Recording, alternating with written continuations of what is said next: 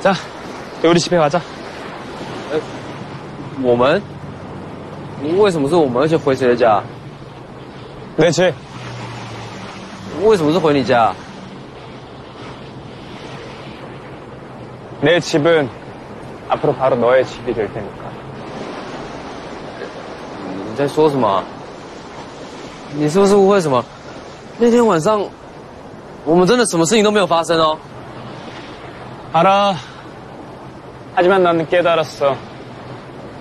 그날 우리가 무슨 일이 있었든 없었든 난 널 책임질 거야. 你在讲什么啦？ 지금 내가 고백하고 있는데 못 알아들어?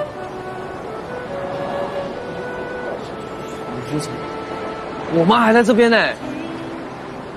네가 아까 그랬잖아. 니네 어머니께서 일방에서 오셔서 팔방으로 가셨다.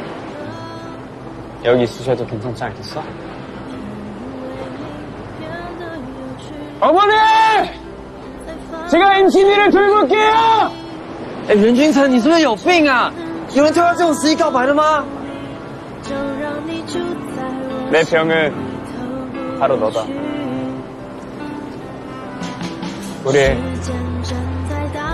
이제 못 헤어 是我们最后回忆，不想错过，不想被你忘记，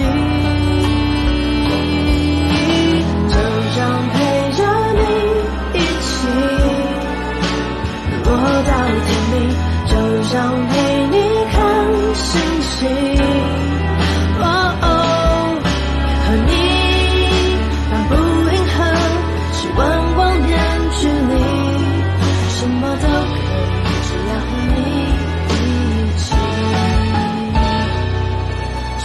don't oh, cry.